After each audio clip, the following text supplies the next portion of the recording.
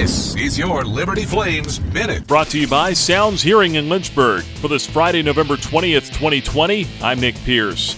Game day for Flames football is almost here, and number 21 ranked Liberty looks to continue its magical run against NC State Saturday night in Raleigh. Kickoff is scheduled for 7:30 as the Flames look to get to 9 0.